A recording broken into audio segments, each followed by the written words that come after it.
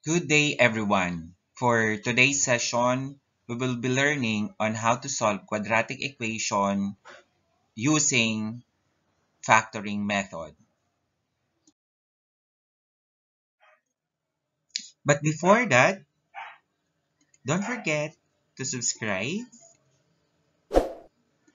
like, and hit the notification bell for some updates.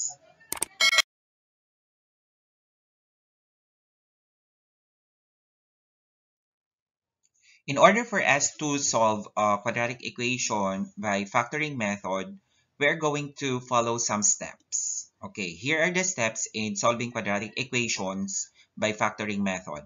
Step number one, transform the quadratic equation into standard form if necessary. For example, if we have x squared plus 9x is equal to negative 8, then uh, add both sides of the equation uh, by 8. So we come up with this. x squared plus 9x plus 9, 8. Then add to the other side. So we have negative 8 plus 8. So we have x squared plus 9x plus 8 is equal to 0. Alright, so in step number 2, factor the quadratic expression.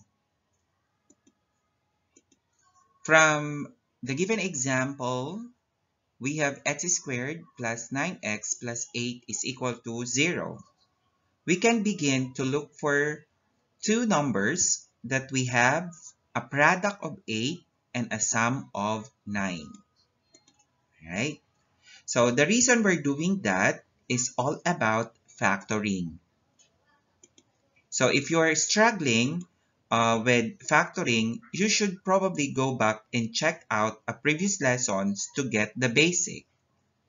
Now, finding a pair of numbers that satisfy this equation will be easiest if we write out the different factors of 8 and look for the pair of them that can be add or subtract to 9.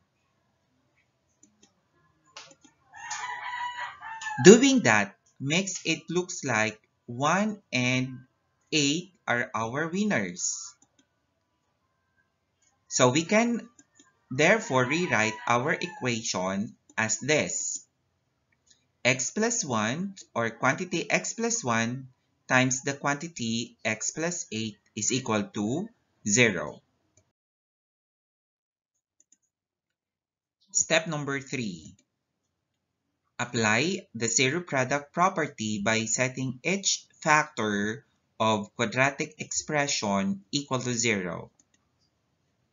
Well, what we have now is a product that equals zero. This allows us to use what is called the zero product property, which says that any time a product equals zero, at least one of the things we are multiplying must be zero. What this allows us to do is split the equation up and say that either x plus 1 or x plus 8 is equal to 0. Now, uh, for step number 4, solve each resulting equation. Now that the x are separated, we can again use the inverse operation to solve for them. Okay, so we have x uh, plus 1 minus 1 is equal to 0 minus 1. So we have x is equal to 1. How about the other one? Uh, x plus 8 minus 8 is equal to 0 minus 8. So x is equal to negative 8.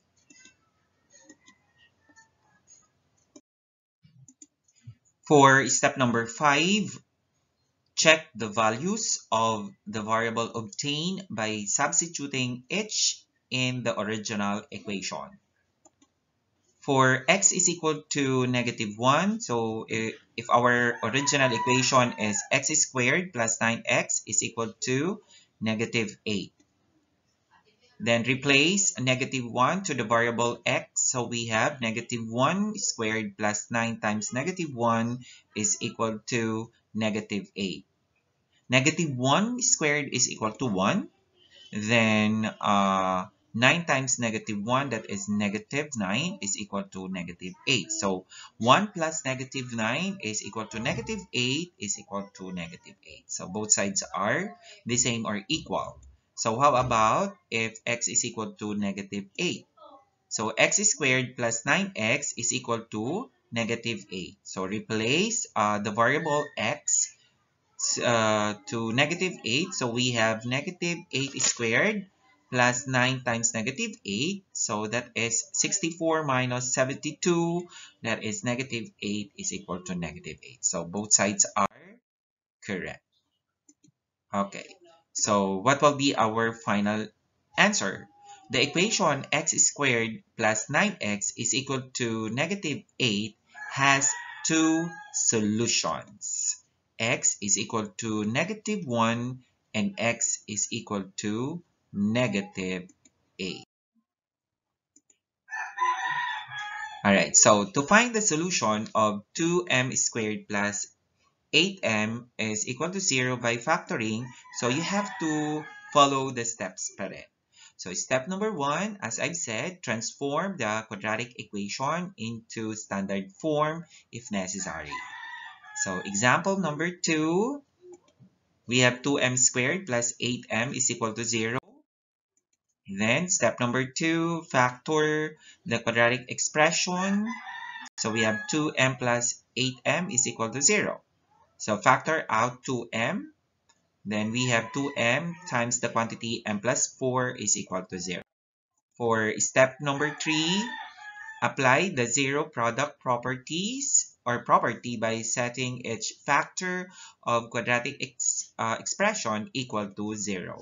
So 2m is equal to 0 and the other one is 2 uh, m plus 4 is equal to 0. Ayan. So for step number four, solve its resulting equation. 2m is equal to 0, so that is m is equal to 0.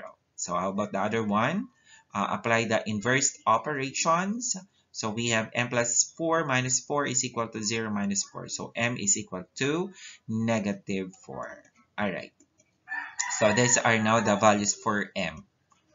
Okay, so for step number 5, check the values of the variable obtained by substituting each in the original equation.